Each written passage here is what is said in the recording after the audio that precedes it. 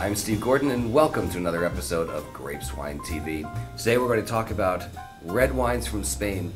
Now, many believe that this is the greatest region for red wines uh, today, uh, the Spanish region, and I'm with John Caplan, owner of grapeswine.com. John, what do you have to say about red wines from Spain? Steve, it's good to see you again. It's good to see you. The red wine, Spanish red wines are unbelievable. It's the most exciting region or regions in the world for red wine today. There's a lot of different things going on, and there's tremendous quality and tremendous value coming out of Spain when it comes to red wine.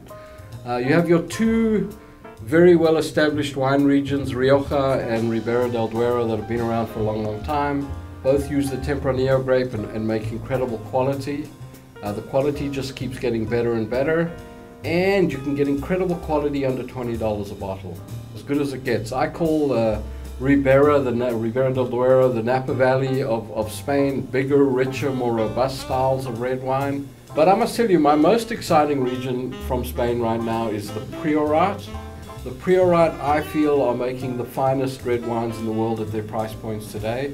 If you like truly world-class red wine, when you try the Priorat, it's going to absolutely blow you away.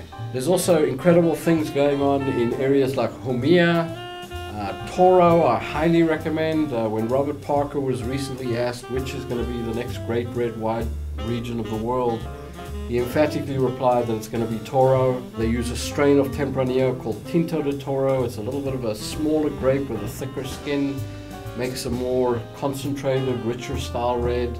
I highly recommend you go and look for wines from Toro. A couple that come to mind are Numanthia and another one called San Roman. If you're looking for value, there's a wine called Prima that for the money is as good as red wine gets. And I would definitely be looking to Spain for world-class value and values all around. From 10 to $15, I think Spanish red wine is the best value out there today. Fantastic. Well, be sure to visit Grapes Wine online at grapeswine.com and follow them on Facebook at the same, grapeswine.com. John, it's been great to see you again. Good Cheers. to see you. Cheers. Thank you. Bye bye now.